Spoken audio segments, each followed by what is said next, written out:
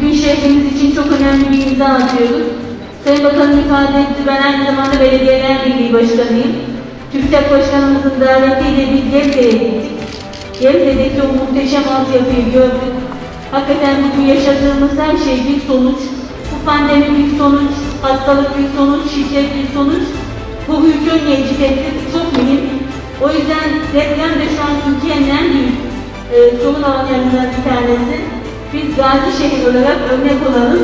Deprem master planımızı TÜBİTAK'la birlikte çalışalım istedik. Orada çok büyük altyapı var, yetişmiş insan gücü var. Ülkemin en iyi yetişmiş bu konuda e, beyinleri orada. Biz bunu uygulamaya geçirip örnek olalım istedik. İnşallah belediyeler birliği olarak Gaziantep örneğiyle bütün Türkiye'yi örnek olacağız ve bu çalışma tamamlanmış olacak. Ben Sayın Başkanıma bu altyapıdan dolayı, Sayın Bakanıma bu desteklerinden dolayı çok teşekkür ediyorum. İnsanların canı malı bize emanet, canının malını korumak için de bu imzayı attık. Rabbim depremi yaşatmasın ama yaşattığında da her şey kontrol altında olsun istiyoruz. Emeği geçen herkese çok teşekkür ediyorum. Hayırlı uğurlu olsun diyorum.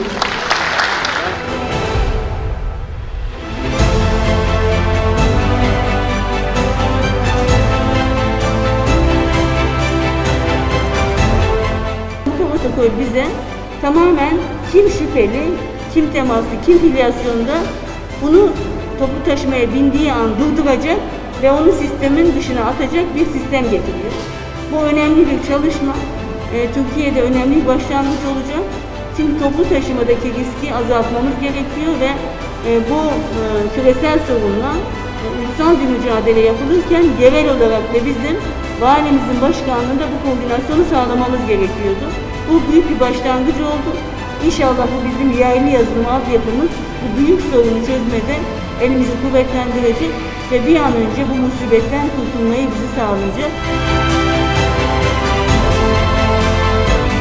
Ee, Sanayi Odası Başkanımızın İpek Yolu Kalkınma Ajansımızda desteğiyle e, hem yerli yazılım hem dijital sanayi gibi e, başka bir dönem var. Rekabeti yönetmemiz için e, el yordamıyla, emek yordamıyla olan sanayimizi katma değer üreten, yüksek teknolojiye geçen sanayi altyapısına dönüştürmemiz gerekiyor. Burada da en önemli gücümüz savunma sanayi. E, hakikaten muhteşem e, bir başarı hikayesi var. Gaziantep'te de bu potansiyel var. Bu koordinasyon bize e, bizi yüksek teknolojiye geçirecek.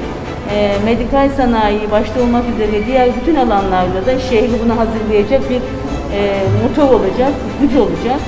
Savunma Sanayi Başkan Yardımcımız, hemşerimiz her görevde, aldığı her görevde şehrimize dair pozitif ayrımcılık yaptı. Teşekkürüz kendine ve ailesine çok teşekkür ediyoruz. Valimin koordinasyonunda bu imza ile birlikte Allah'ın izniyle önümüzdeki süreçte bize çok daha güçlü bir sanayi altyapısı bekliyor.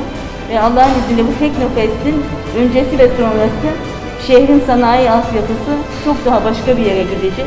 Emeği geçen herkese çok teşekkür ediyorum. Hayırlı uğurlu olsun.